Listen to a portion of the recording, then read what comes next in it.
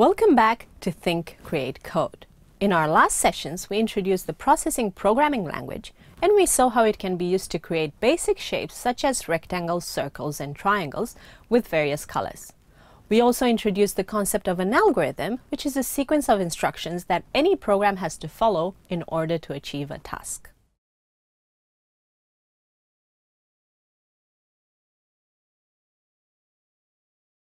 Today we will be looking at how data is used in code and how we can manipulate shape attributes using program variables.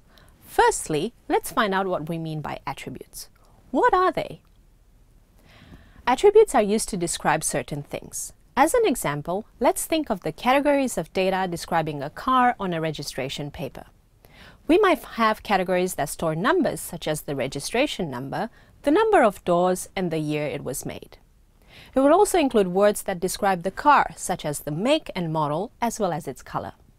It might also contain data that has one or two different options, such as whether it is a sedan or a hatchback, or if it is an automatic or a manual car.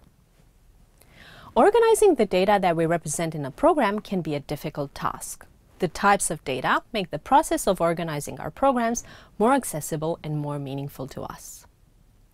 What qualifies as a data type varies from one programming language to another. In processing, we can store whole numbers as integers. We can use Boolean values to say if something is true or false. We can store characters and words as a string. These are called data types.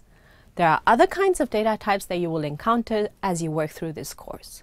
We will learn more about them in our next lesson.